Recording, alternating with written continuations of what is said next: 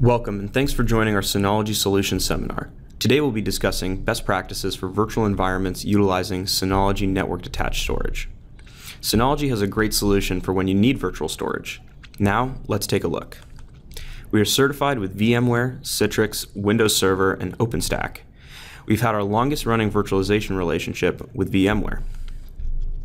Our relationship with VMware started almost 10 years ago when we joined their TAP program, Soon after, we released our first VMware Ready NAS.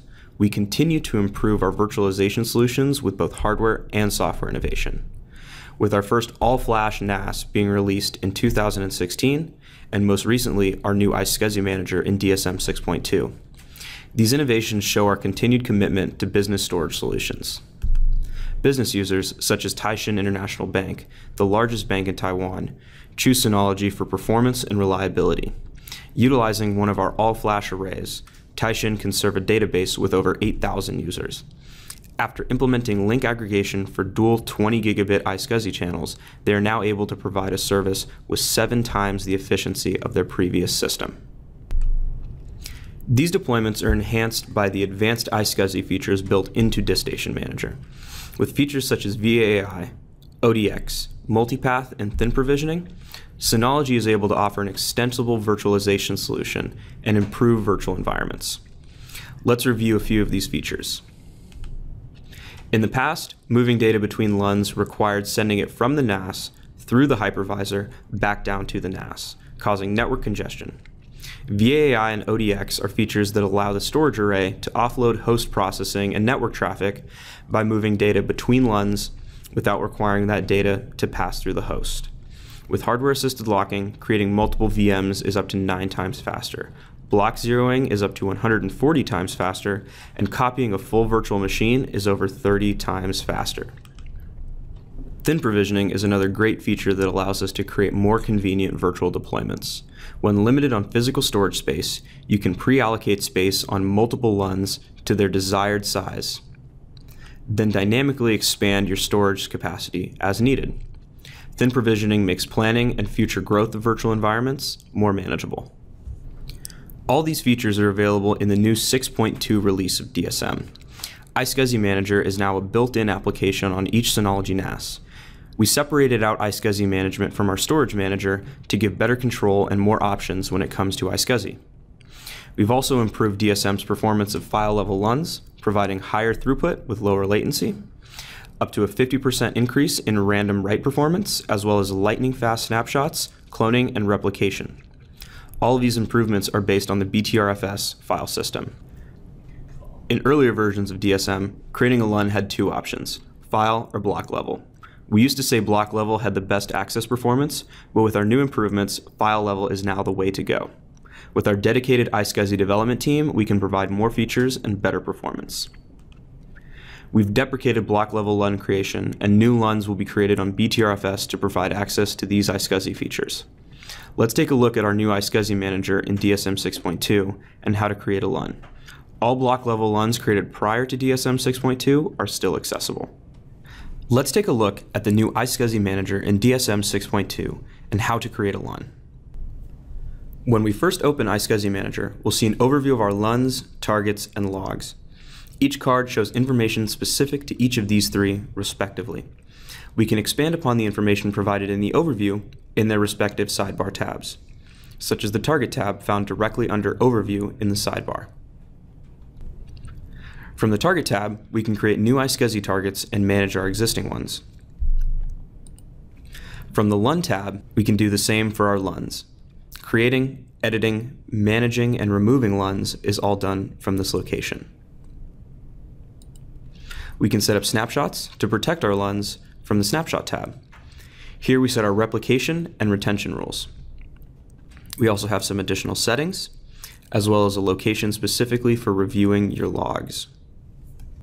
Now that you're familiar with the new iSCSI Manager and able to create LUNs and targets, let's look at selecting a NAS for virtual storage. First, we need to know our IOPS requirement.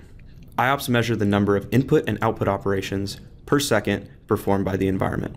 This number varies depending on the workload of the virtual machines. Next, we should know if we'll be needing a full SSD loadout or can utilize spinning disks with an SSD cache. For high performance environments, we recommend using solid state drives. We recommend using 10 gigabit Ethernet for lower latency and faster access speeds. And of course, creating your LUNs on BTRFS to take full advantage of all the iSCSI features we've been discussing. Once we know our IOPS requirements, we should first look at the type of drives we should use with our deployment. The typical hard disk operates between 200 and 600 IOPS and keeps your average desktop computer running smoothly. But as we know, virtual deployments vary heavily. Deployments without intense IOP requirements could host multiple VMs per disk, while performance-intensive deployments may require solid-state drives to perform effectively. Synology has solutions for a wide range of virtual deployments and their performance needs. For serious performance, we have our FlashStation line, while most business use cases will be more than happy with our XS Plus performance line. Our performance series delivers amazing performance for smaller deployments. It all depends on exactly each VM and what it will be doing and how many IOPS are required. SSDs can cost quite a bit more than the traditional hard disk. For implementations where users want to take advantage of the capacity of spinning hard drives and the performance of SSDs, Synology has a solution SSD caching.